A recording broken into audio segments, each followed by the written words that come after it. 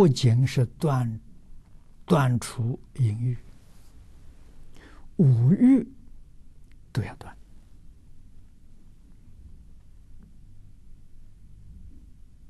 啊，尽量的把它减轻。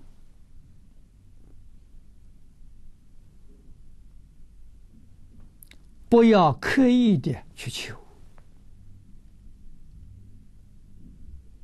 大乘经教里头，佛常常教我们随缘而不攀缘，这就很好，这个意思就非常好。啊，可是为什么一般人放不下？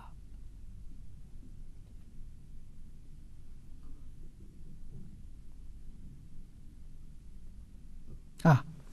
我要吃饭呢，我要穿衣，我要住房子。你叫我都放下，我怎么生活？所以他就放不下了。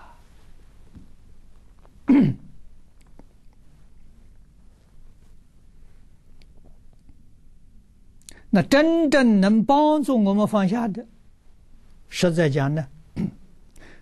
懂因果，你就敢放下了。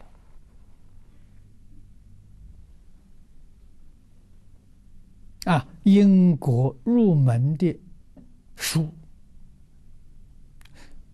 我觉得《了凡四训》好，对我们真正有帮助。《了凡四训》给我们讲一个重要的事实。那就是说，一饮一啄，莫非前定，不是你能赚到的，啊，你能求到的，不是命里注定的。命里的谁注定的呢？自己注定的。啊，这佛讲的很好啊，欲知前世因。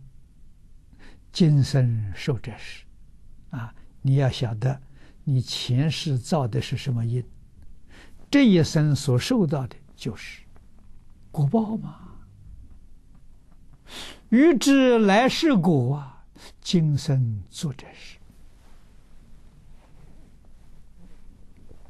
这两句话要参透了，嗯，你就敢学佛了。我真放下了。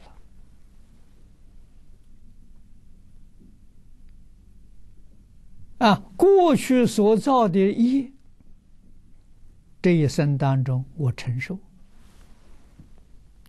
如果我没有做饿死的那个业，我什么都不求啊，大概每天还都有吃有吃的，啊，不会饿着的。我说你命里不是不是饿死的命吧？那你不是冻死的命的时候，你肯定有衣服穿。啊！你着急着急找这个干什么？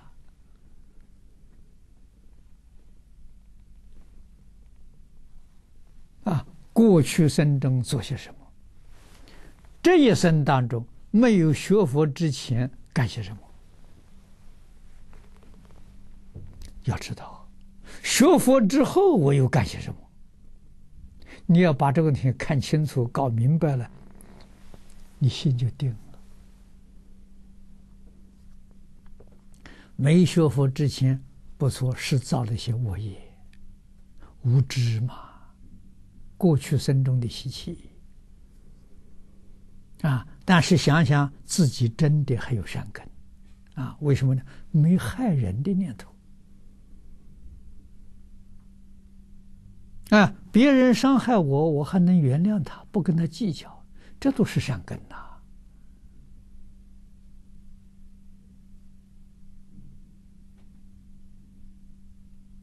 这对于我们这一生跟来生都有很大的帮助啊！啊，学佛之后懂得了。啊，我在学佛早年学佛的初期，老师就叫我布施，啊，叫我学三种布施。修财布施，你的财用不会缺乏；修法布施，你长聪明智慧；修无畏布施啊，你会得健康长寿。这是很浅的，不是深意呀。啊，它是真的，它不是假的。啊，我很听话了。啊，依教修行。啊，那个时候生活非常艰苦。啊，老师告诉我，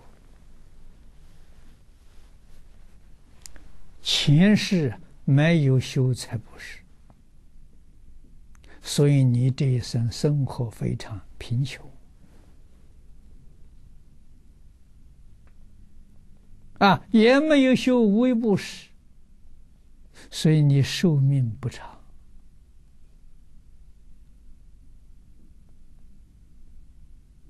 啊，还算不错。你还修了一点法布施，有一点聪明智慧。啊现在如果肯努力去补修这两样，来得及。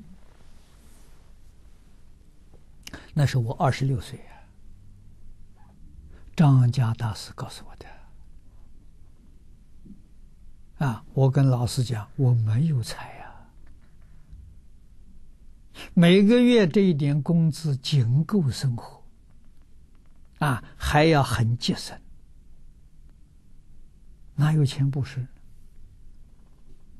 他问我：“你一毛钱有没有？” 一毛钱可以，一块钱一块钱也可以。啊，你就从一毛一块布施。这一毛一块怎么个布施法呢？啊，这接触佛佛法时候晓得，这佛母佛法是大学问呐，不是迷信啊。啊，所以也就开始逛寺庙了。从前是绝对不会到寺庙去的，啊，因为它是宗教，是迷信。啊，那么到寺庙去找经书看，也认识很多学佛的朋友，啊，看到他们印经，印经的时候拿一个单子，大家来凑钱印经，啊，多少不拘，那我们。写一毛也可以，写五毛也可以，啊，写一块也可以，就就老师教的就真干呢。再一个放生，放生也是大家拿个单子来凑钱，啊，我们就是真的只一毛一块开始，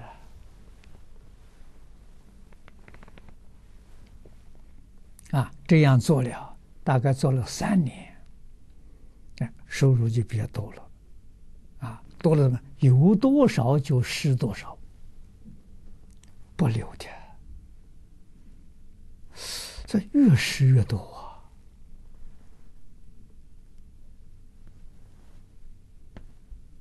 真的一点不假了，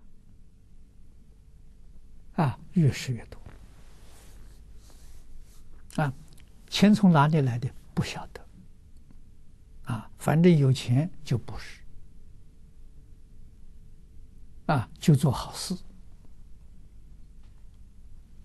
啊，没有钱比有钱好啊，因为有钱还得想这个钱怎么用法，把它赶快用掉，啊，没有钱就不要想这事情。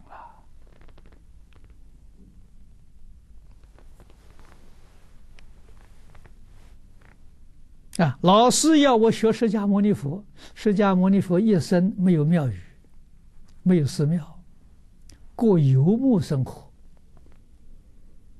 啊，哪里有缘哪里去，这一点我学到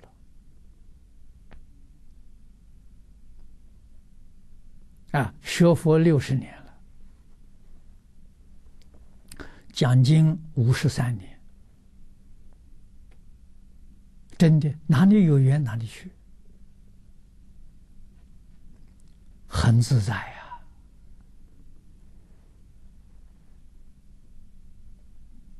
呀！啊，各方的供养越来越多了。